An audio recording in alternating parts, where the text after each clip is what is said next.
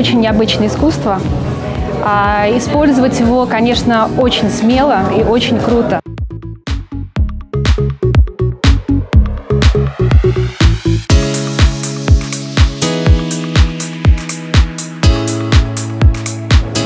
но на это а, отважатся такие же смелые, экспрессивные а, люди.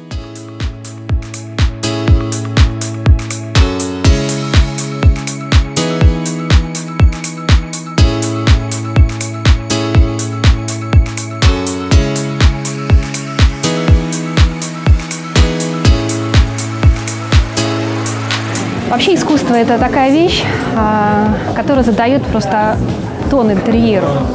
И с него можно просто его начать.